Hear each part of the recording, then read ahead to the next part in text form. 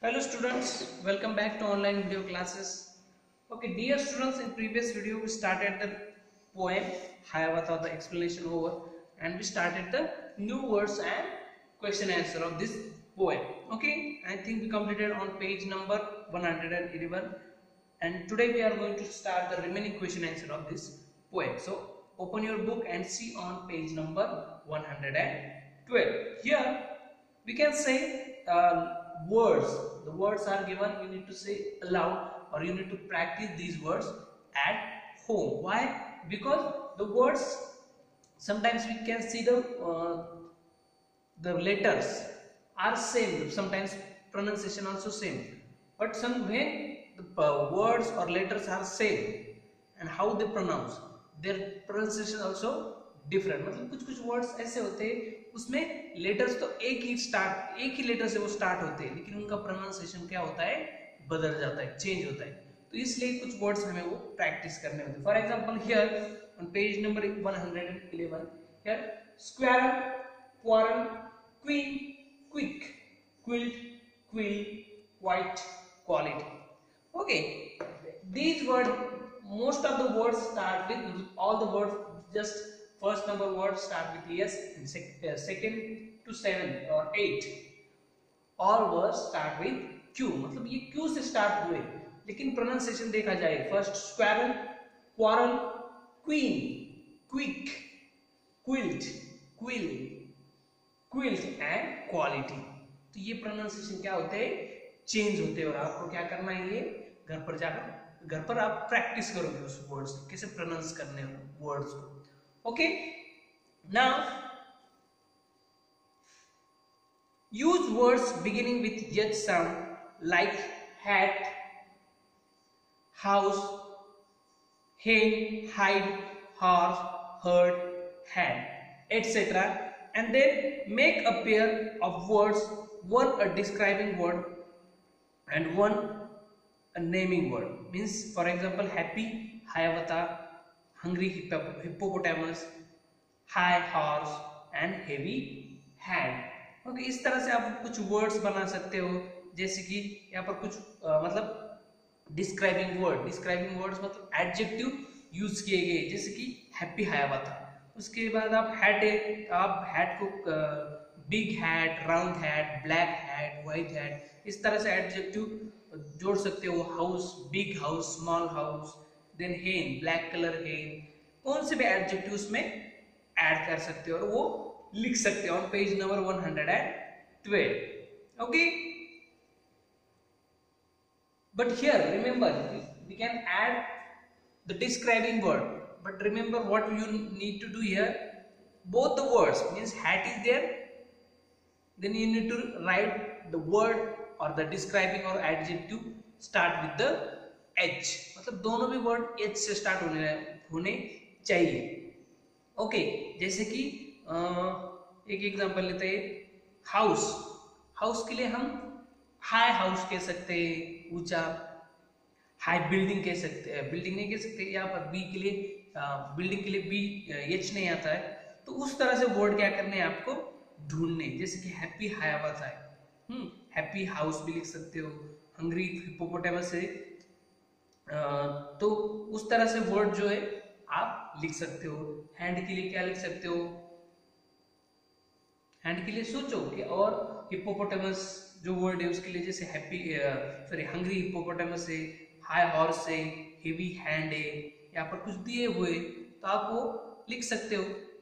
Okay now next have you seen hippopotamus in hat क्या आपने hippopotamus देखा है हैट में?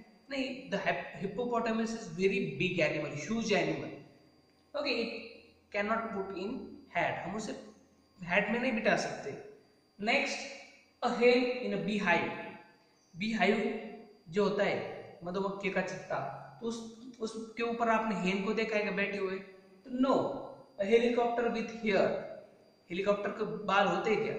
No then last one a horse drink honey horse कभी हनी खाता है क्या तो नहीं खाता है all the questions answers are no on page number 112 let's share here make a story of the poem and share it with your friends you can change hayawata's name and give the name of your classmate and start the story which after children can continue you should or you could begin like this okay what you need to do here like poem hayawata poem you can convert this poem into story but uh, here no need to use the name of hayawata you can use your friend name for example your friend name is ramesh then you can write ramesh name there instead of hayawata you can use ramesh once upon a time there was a boy called ramesh okay इस तरह से start कर सकते हो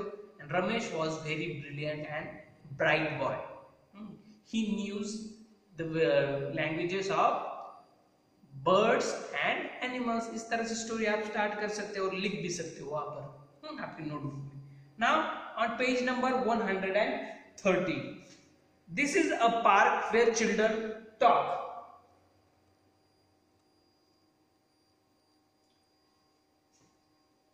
before that this story explanation दिया हुआ है। आप इस तरह से लिख सकते हो once upon a time there was a boy called Rakesh यहाँ पर रमेश की जगह राकेश यूज़ कर सकते हो आपके जो फ्रेंड का नाम वो लिख सकते हो he lived with his grandmother she told him the stories of animals he learned the language of animals he became aware of their names and their secrets he came to know about many things about birds he learned how they build their nest in summer where they go in winters about beasts he learned how beasts build their houses where the squirrel hide their food, how the deer ran so swiftly, why the rabbits were so timid. Rakesh called birds and beasts chickens and brothers respectively. Whenever he met, he used to talk to them in their language. Okay, इस तरह से आप क्या कर सकते हो story adjust कर कर लिख सकते हो सेंटेंसेस आप पोएम में देखकर बना सकते हो और आपका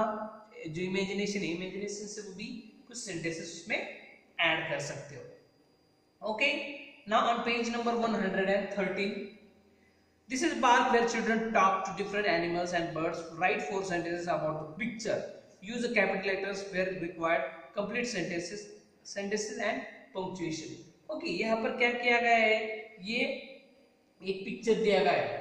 पिक्चर में आपको दिखाया गया है कि एक बच्चा है जैसे कि कृष्णा होता है लॉर्ड कृष्णा उस तरह से एक बच्चा वहाँ पर बैठा हुआ है कि हयावत है तो ये आपको इमेजिन करना है उसके पास बर्ड्स है एनिमल्स बैठे हुए तो वो आप उससे रिलेटेड सेंटेंसेस बना सकते हो कैसे बनाने है आपको जैसे कि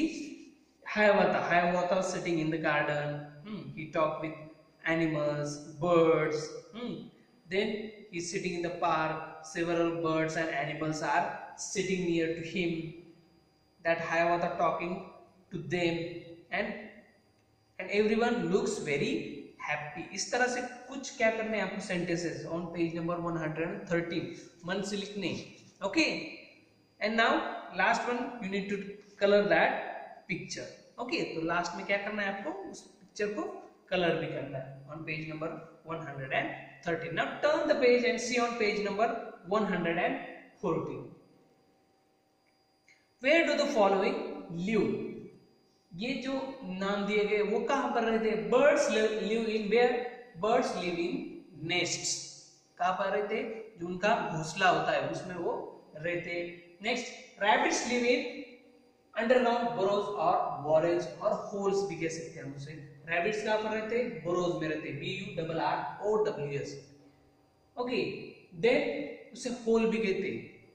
Then beavers live in beavers live in lodges made in ponds okay कुछ कुछ बर्ड्स बीवर्स मतलब दो तरह के मैंने एग्जांपल दिए थे। तो वो बीवर्स क्या करते हैं? अपना लॉज बनाते हैं, अपना घर बनाते हैं। बीवर एक एनिमल भी है और एक बर्ड भी है। दो तरह के बीवर में दिखाई देते तो बीवर्स क्या करते हैं?